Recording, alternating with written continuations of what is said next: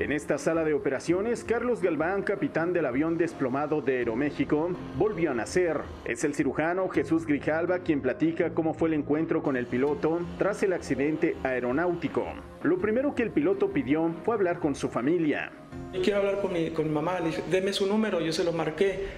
Y entonces le habló, le dice, mamá, ¿cómo me escuchas? La mamá obviamente ya sabía que había habido un accidente yo creo que la mamá le contestó, pues bien, ¿verdad?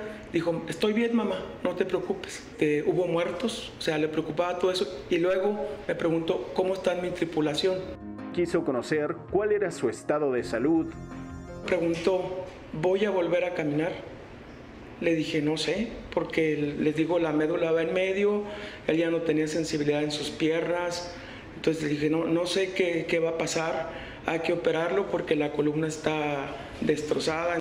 Tras cinco horas de cirugía y con un panorama adverso, los médicos encontraron que a pesar de la terrible lesión, la médula estaba íntegra y a salvo.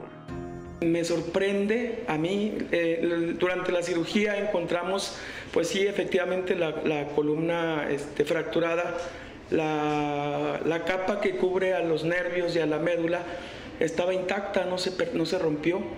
A 24 horas de la operación, el capitán sorprendió a los médicos. Me dice, mire doctor, ya muevo los dedos de los pies. Yo, o sea, y tiene un ánimo, Carlos, un ánimo impresionante. En tres días podrá ser trasladado a la Ciudad de México para continuar con su rehabilitación. Los médicos aún desconocen las secuelas y si volverá a volar una aeronave. Por lo menos caminar, sí. en la columna se le colocaron Mm, ocho tornillos, cuatro de cada lado, dos barras y un cruce entre ellos. Entonces queda una estructura muy rígida.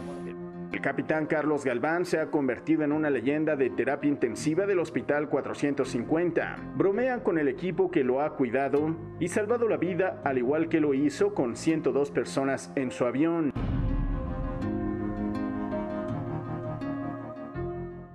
Imagen Noticias con Ciro Gómez Leiva, lunes a viernes 10.30 pm.